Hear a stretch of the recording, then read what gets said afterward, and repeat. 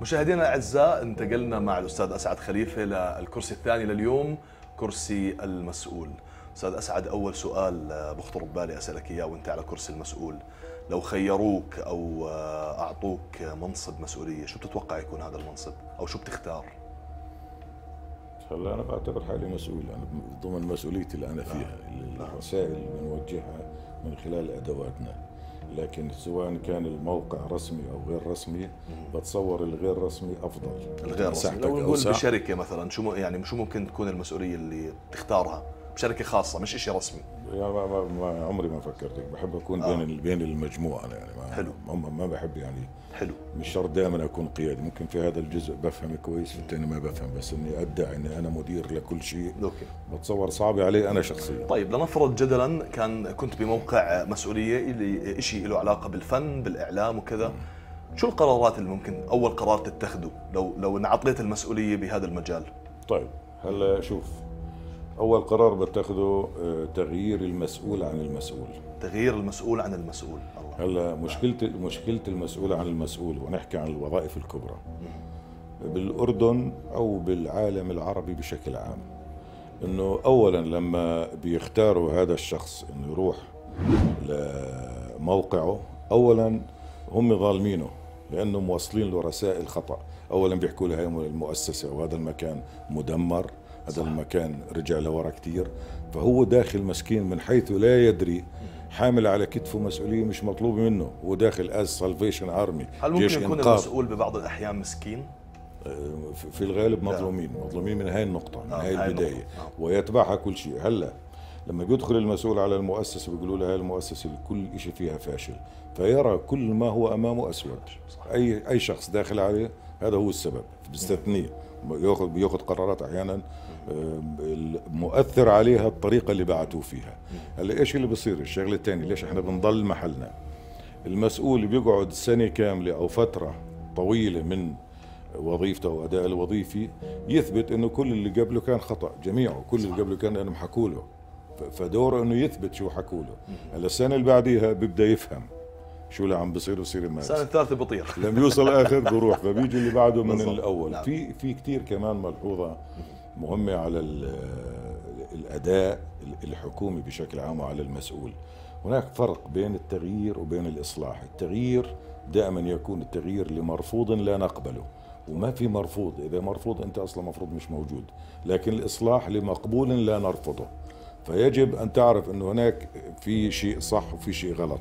والعزل والانتقاء هو أساس العمل الإعلامي والفني والإبداعي. أنا أعزل ما لا أريد وأنتقي ما أريد.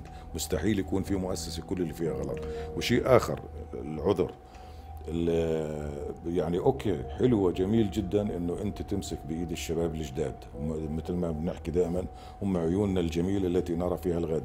لكن أيضا يسجل لك يسجل لك بالشكر حفاظك على من هم آه، أصلا رسموا هويتك ورسموا هوية الوطن وهؤلاء الناس. في الغالب هم واصلين درجة معينة من القناعة الإقناع ومن تعرف الناس لهم. حملوا رسائلك.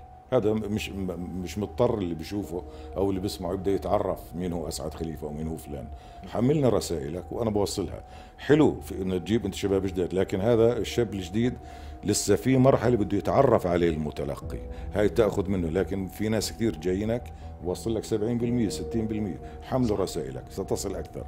وشيء مهم جدا إحنا عادة لما بتصبح مؤثر فالتأثير هذا هو عبارة عن موهبة والموهبة يجب أن تتعامل معها كأمانة إنه أنت مؤتمن على هذه الموهبة يجب أن تحملها مضمون إيجابي. اللي بيصير إنه أنت لما تصبح مؤثر فأنت تنفلت من المكان وتنفلت من الزمان. في السودان بيقولوا محمود درويش إلنا في البرازيل بيحكوا إلنا. إحنا بالأردن بنقول غارثيا لوركا إلنا وبنحكي ستانسلافسكي إلنا.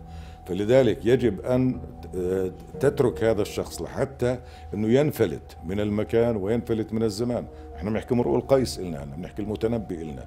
فلذلك يجب أن لا تقف في طريق الناس المتقدمة. يجب أن تدعمه ويجب أن تمسك بيده ويسجل لك هذا بالشكر دائما. آه خلينا نحكي لو أعطيناك برضو الفرصة تكون وزير ثقافة أوكي؟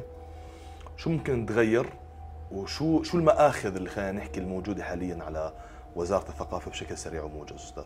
آه، هلا معروف انه الثقافة دائما مشروع طويل الاجل حتى تعمل تغيير ثقافي بدك آه، فترة زمنية أطول. ولكن المشكلة مش بمن يحمل حقائب وزارة الثقافة أو العاملين بالوزارة لكن المشكلة بتقدير حجم الثقافة من المجمل العام. موازنات وزارات الثقافة عندنا لا تناسب لا تناسب كمية الإنتاج الثقافي وكمية الإبداع والإشعاع الموجود في ثقافة في مثقفينا وفي مبدعينا فهذه دائما آه، تأخذ من ال يعني حتى بعض الأحيان يعني السلوجان أو الجايد اللي اشتغلوا عليه الوزارات إنه الثقافة ترعاها يعني مثل ما بقولوا إنه الأم اللي بتربي مش الأم اللي بتخلف. لا الثقافة بتخلف وممكن تنتج نعم صحيح. وممكن تعمل أشياء كبيرة. وعندنا نماذج كثيرة شاركنا شاركنا فيها ونماذج شاهدناها. أستاذ أسعد هيك إحنا نكون خلصنا من كرسي المسؤول. يطول الحديث بكرسي المسؤول بس عشان شوي محشورين بالوقت بدنا نروح على كرسي الاعتراف. جاهزين؟ يلا في تعذيب؟ لا لا ما في تعذيب. كيف بدنا في لا بال... بال... بالكلمة المنيحة والحلوة ما فيش مشاكل. أنت استعجلت أنت قمت على طول على الكرسي. والله يلا مش مش مش مشكلة خلينا نروح معاكم على كرسي الاعتراف ونرجع نكمل معاكم. يلا.